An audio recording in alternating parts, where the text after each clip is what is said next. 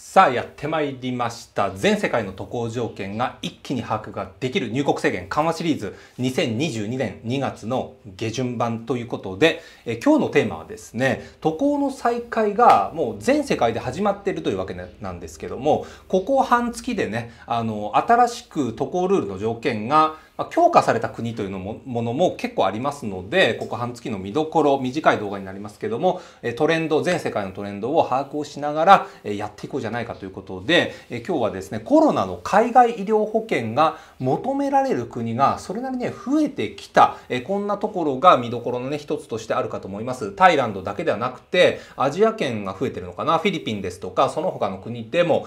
保険の要件ですよね。事前にあの疾病医療保険ですね。え、あのコロナの治療を想定しておく必要があるとこういった国が増えておりますのでこの辺りもバッチリとですね、え、皆さんとトレンドを把握していきつつあとはねブースター接種要件が欧州圏を中心にだいぶね増えてきてますからこのワクチン接種が終わったよなんていう方についてもですね3回目接種がまだの方については国を越えた往来ですよね。こちらあのぜひ注意をされてください。あとは北米エリアなんかもワクチン接種のね3回目のキャンペーンも国内ではあの盛んになってきているわけですけどもこちらでのねブースター接種要件がまたあの必要になってくるのかどうかこの辺りについても触れていきたいと思います、まあ、今日はね北米の中でも動動きがね一部ありますので全世界を含めてえバッチリとね皆さんのえ国を超えた活動こちらを応援していこうじゃないかということでえやってまいります。それでは初めにですね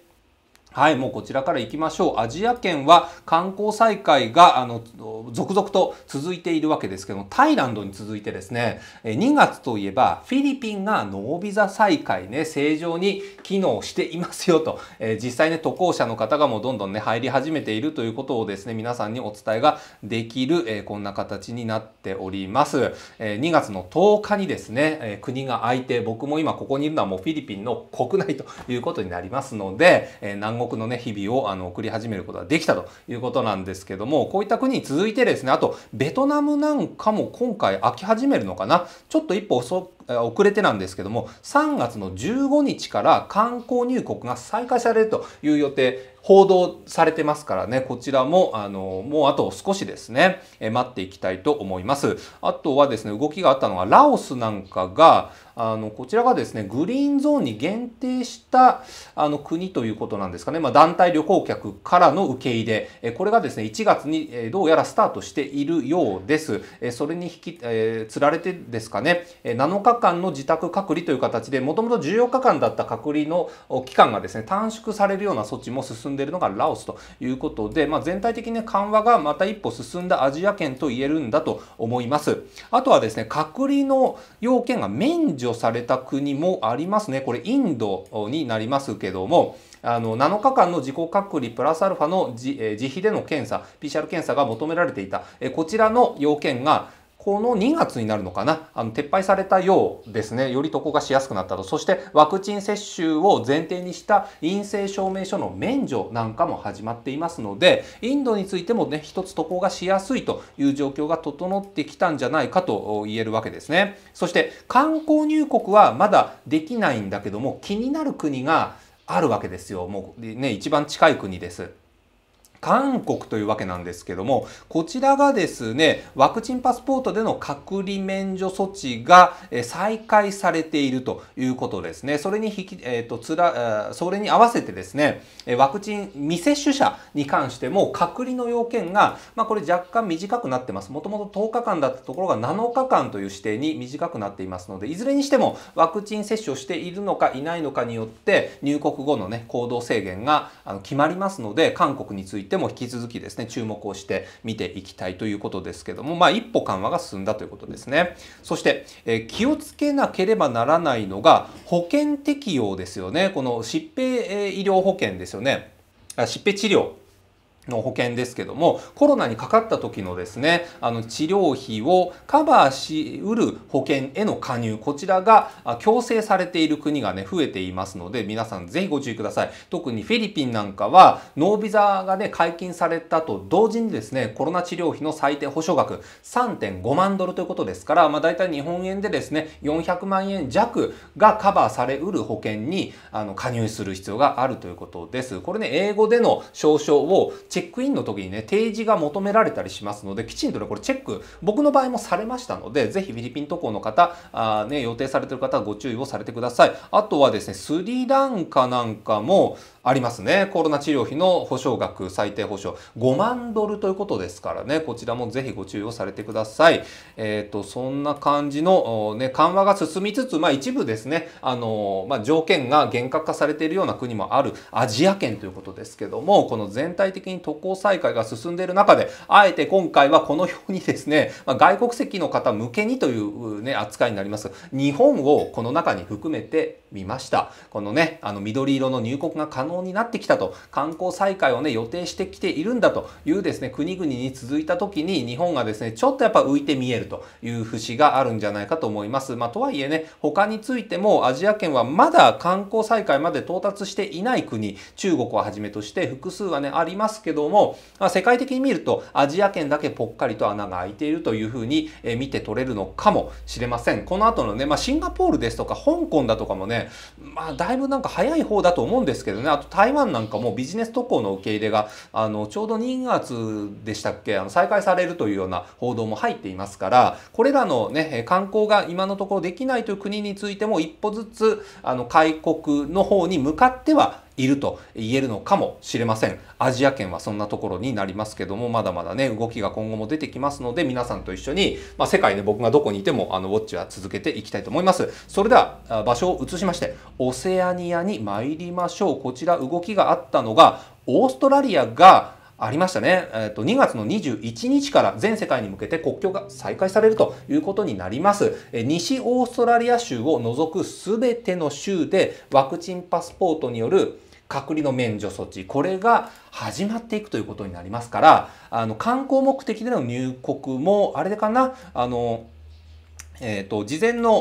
と ETA の申請だとかが必要になるんでしょうけども、えそのあたりをクリアすればあのかなり、ね、入りやすくなっているという状況が2月の21日からもあの全世界から、ね、始まります。オーストラリア情報です、えそしてニュージーランドについては一応ねこれ観光再開までのロードマップなんかもアップデートが入ってはいるんですがこちらがですね結構先の予定になってるんですよ2022年の7月からの再開見込みということでね、観光入国はあのだいぶ後になっていくようですね。このあたりも、えー、ぜひウォッチをしてまいりましょう。そしてですね、えっ、ー、と、ちょっとした変更がありました。サモアが、あの、若干厳格化されてますね。サモア入国に関しては陰性証明が48時間以内という形で出発前になるかと思います。こちらも若干の厳格化になっていますから、ぜひこの辺りの変更もね、ご注意をされてください。それでは続きまして中東エリアに移動をしてまいりましょう。こちらもですね、いくつか変わってますけど、まず着眼をしたいのが、やはりね、この陰性証明が厳しくなっている国がありますので、あのこれね、よくよくチェックをしていきましょう。サウジアラビアがこの度、陰性証明48時間以内出発前ですね、こちら要件が縮まりました。72時間という指定だったところが48時間に縮まりましたのでご注意をされてください。えー、これと同じ変更がですね、トルクメニスタンでも起きています。これも同じくですね、48時間以内に狭まっているという感じです。えそしてレバノンも変更がありますね。これは緩和の方向に倒れているわけですけども、ワクチンパスポートを前提にした陰性証明の免除措置が今回のタイミングで始まりました。えー、続々とですね、この後は中東エリアも緩和が進む国がね、ちらほらと見えるわけですね。えー、バーレーンになりますけども、こちら陰性証明が条件から撤廃されたという動きがあります。あとはカザフスタンなんかがですね、中央アジア圏ということでちょっと含めてますけども、今回、えー、と入国がこの度できるようになっているようなので、まあ、だいぶね、行き来が進んでいるのも、中東エリアもですね、あの往来の再開が徐々に進んでいると言えるんだと思います。クウェートに関してもですね、ワクチンパスポートによって隔離、えっ、ー、と、そうですね、隔離の免除措置であったりですとか、あと陰性証明の免除ですよね。こちらが、あの、可能になっているということになります。でね、これ、注意したいのが、クウェートは、ブースター接種に関する要件がですね、あの加わっています。2回目接種から9ヶ月が経過したらですね、これブースター接種が前提になるようですね。この隔離の免除措置を受けるためには、あのこのワクチン接種ね最終に接種したところからの期間によってブースター接種が求められるのかどうかというのがどうやら異なるようですのでこういった国がねどんどん増えてきてるんですよね今回の皆さんのアップデートの中で。まあそのこと始めがクウェートということですけどもぜひこちらのねトレンドは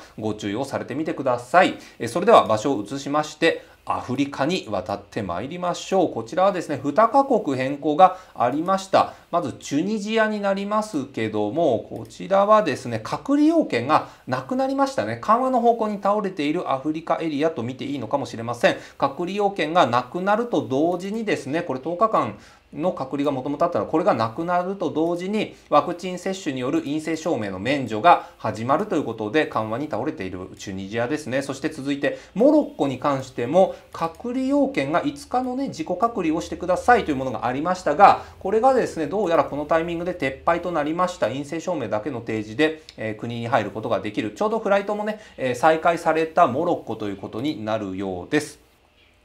それではエリアを移しまして欧州圏を見てまいりましょう。こちらね結構動きが激しいと同時に皆さんの渡航計画に大きく影響がもたらされる可能性があるかと思います。ブースターショットのキャンペーンがですね、どうやら欧州圏、この入国の条件として加わっていると、このね、3回目接種をもうやっていってくれというメッセージとも受け取れるような渡航条件の変更が立て続いています。ぜひこのあたりご注意をされてください。エストニアですね、こちら入国条件にワクチン接種がね、入国条件になってますけども、2回目接種の方は9ヶ月以上ね、これ経つと、あの、ブースター接種が前提となってくるというね、こんな扱いになりますので、ぜひご注意をされてください。くださいまあ、エストニアはね、それでも陰性証明だとか自己隔離措置が撤廃、ね、同時に撤廃されてたりはするので、まあ、緩和に倒しつつ、ブースター接種キャンペーンを実施しているというふうに見えるんだと思います。こういうね、あの、なんだ、ステップの踏み方をしてくる国っていうのが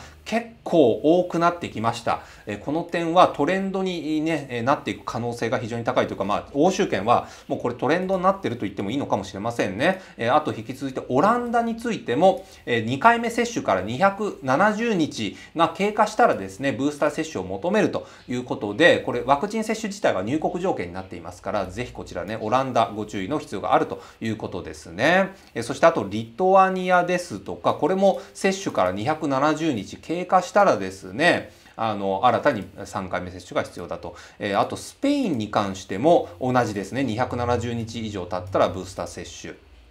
そしてアイルランドになります。こちらは2回目接種から9ヶ月が経ったらですね、えブースター接種の必要があると。イタリアに関しては6ヶ月以上経って、え6ヶ月経過したらですね、ブースター接種という流れで、やっぱりね、えーと、この3回目接種の扱いがどんどん増えてきている欧州圏と、まあ、世界の中でもねだいぶ進んだトレンドと言えるのかもしれないと同時に皆さんのあの渡航のね準備に、まあ、3回目接種を含める人が、まあ、出てくるということをね言わざるを得ないという、えー、欧州圏になるかと思います。えー、そしてですね全体的にまあ緩和の方向性に倒れていると言ってもね差し支えないこの欧州エリア EU 圏ということですけども、えー、全体的に緩和の方向性特にデンマークだとかあとルーマニアでですね、えー、とこういった緩和措置が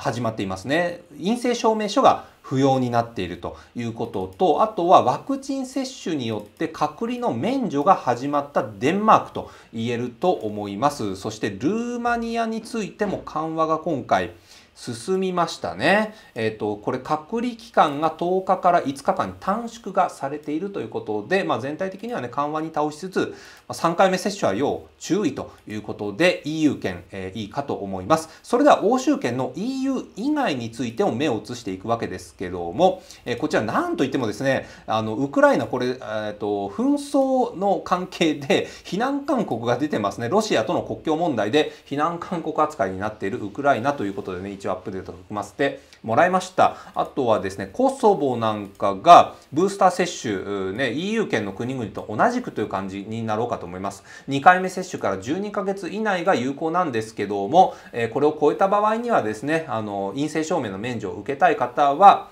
ブースター接種が前提になってくるという動きがコソボで起きております。えそしてですね、ノルウェー、これがですね、一気に緩和に倒れましたね。陰性証明が今回も撤廃されたことによって、もう完全にですね、検疫ルールそのものがなくなりましたということで、大きな動きがね、ここで一つ起きております。ノルウェーは非常に渡航がしやすいという条件にアップデートがなされました。はい、ということで、え全体的にね、緩和の方向に倒れつつも、ブースター接種はね、要注意という欧州圏が終わりましたので、次のエリアに移ってまいりましょう。カリブ海と南太平洋エリアはですね、今回は目立った動きがありませんでした、まあ一応、タヒチが一部あれか、あの、陰性証明が、あ、そっか、これ厳格化されてますね。あの出発前の24時間以内ということになるあなろうかと思いますけども、ちょっとね、これ、あの、厳格になっているので、タヒチ行きの方はぜひ注意が必要かと思います。えー、隔離要件は反面ね、短縮されている。10日間から7日間に自己隔離期間が短縮されているというタヒチをアップデートさせてもらいました。それではエリアを移しまして中南米に参りましょう。2カ国で動きがありました。まずはスリナムになりますけども、こちら陰性証明が72時間以内から48時間以内に厳格化されたと同時に隔離要件がなくなったということで組み替わっております。そしてパナマについてはですね、ワクチン接種の要件が変更ですね。ブースター接種要件がこの度出てまいりまして、陰性証明の免除を受けるためには、3回目のね、ワクチン接種が前提となるということで、ルール変更がなされていますので、まあ、このね、中南米の中でも、まあ、ブースター要件が出てきたのが、パナマが僕が見た感じだと初めてということになろうかと思います。はい、えー、そんな感じで、えー、最後のエリアになる、えー、なりますね。北米を見てまいりましょう。まずはですね、カナダが大きく動くようです。今後の動きになりますけども、わえっ、ー、と、これワクチン接種を前提とした入国条件、ここは変わらずなんですが、陰性証明書ですよね。これまで取り付けなければならなかったこの紛、えーと、煩わしい陰性証明書がなんと2月28日に撤廃されるという予定が報じられていますのでこれがね簡易検査はま必須だよと書かれているちょっとねこの簡易検査がどういうレギュレーションになるのかっていうのはね僕が細かくお伝えできないんですがどうやらこれまでね PCR 検査を高いお金を払って取り付けなければならなかったものが2月28日に撤廃されるという方向で進んでいるようなので、えここはね注目が集まるところかと思います。まあ、米国あたりがこのカナダのような陰性証明のね、撤廃に倒れていくのかどうかね、えー、この北米エリア、非常に注目が集まるところではありますが、この米国に目を移していくとですね、引き続きワクチン接種が前提、渡航の前提の、ね、要件になっているのと同時に、陰性証明書もま今現在引き続き必須ということになっています。先日ですね、各種エアラインからのあの、まあ、団体からですね陰性証明書も撤廃してくれともうやらなくていいじゃないかというお話もあってこういった要請がなされていた米国なんですけども今のところ引き続き陰性証明書が求められるということになりますので米国行きの方はぜひとも、えー、この辺りねご注意をされてください。はい、そして、えー、見た限りだと、ワクチン3回目接種ね、ブースター接種に関しては北米エリアでまだ渡航条件として求められるというところまではですね、ことが進んでいないようなので、今現在はまだね、この辺りはご安心いただいて、えよろしいかと思います。はい、そんな感じで、えっ、ー、と、陰性証明書がね、まあ、出発前の前日中には、検査を受ける必要があるというこの条件は変わらずの米国なのでちょっとやっぱ紛らわしいんですけどもここに注意をしつつですね一部あの渡航条件の変更も見られますのでこれもねご紹介をしていきます。サイパンのあるがあるですね北マリアナ諸島になりますけどもこちらがあ隔離要件に更新がありまして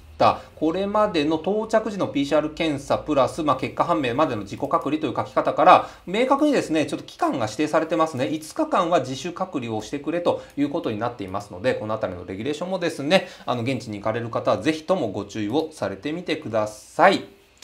はいということでえ、全世界をぐるりと回ってみました。まあ、世界から大幅に遅れてですね、緩和がま進んでいくのかどうか、日本はどうなっていくんだということになりますけども、まあ、帰国がね、楽になれば、外に出ていく方も増えてくるとは思いますので、え、全世界がですね、今、ここの緩和に向けて、あの、ずっとステップを踏み続けている中ではありますので、日本の入国要件と合わせて世界の動きも皆さんと一緒に今後ねウォッチをしていければと思います。まあ、今回ねあの総論として言えるのが、まあ、ブースター接種の注意事項がねちょっとやっぱ全体的に増えてるなと感じたのとあと各、えーと、検疫要件が完全撤廃になった国があのようやくね出てきたなという印象は僕の中でなんとなく受けましたね。まあ、さっきやったあの欧州圏の中にねノルウェーがありましたけどもはい、こちらですよね。もう完全にね、検疫要件なくなりました。陰性証明も隔離もなくなったということ。こういった国がね、他にも一応、数ああんま多くないんですよね。メキシコですとか、あとエルサルバドルと、まあ、中南米にね、一部あったんですが、この度欧州圏からノルウェーが、え、こういったね、全くルールが、あのー、ね、この撤廃されているということが、あのこうこういった国がね、1カ国だけではありますけど増えたということね、確認できました。皆さんへのアップデートができたということになりますので、今後ですね、本シリーズがどこまで皆さんのね、必要とされていくのかどうかっていうのは不明なんですけども、こういった渡航がしやすい国が増えていくということをき、えー、期待をしつつ、入国制限緩和シリーズ2022年2月の下旬版を終わっていきたいと思います。ではまた次回の動画でお会いしましょう。大好きでした。